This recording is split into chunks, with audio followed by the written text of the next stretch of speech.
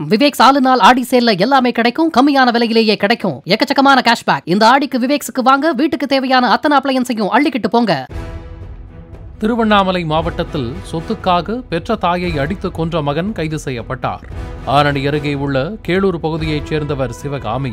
கணவனை இழந்த இவர் மகன் ராஜாவுடன் வசித்து வந்தார்.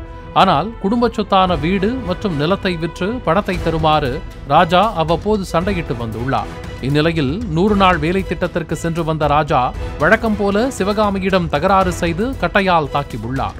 இதில் பலத்த காயமடைந்த சிவகாமி உயிரிழந்தார். இதுகுறித்த புகாரின் பேரில் ஆரணி போலீசார் ராஜாவை கைது செய்தனர்.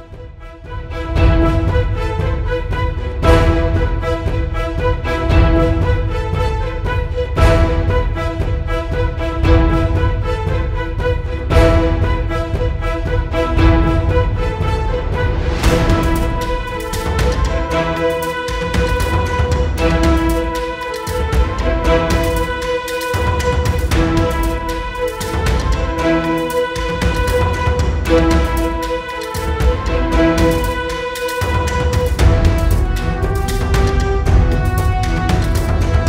சாலு நாள் ஆடி சேல்ல எல்லாமே கிடைக்கும் கம்மியான விலையிலேயே கிடைக்கும். எக்கச்சக்கமான கேஷ்பேக் இந்த ஆடிக்கு விவேக்ஸுக்கு வாங்க வீட்டுக்கு தேவையான அத்தனை அப்ளையன்ஸையும் அள்ளிக்கிட்டு போங்க.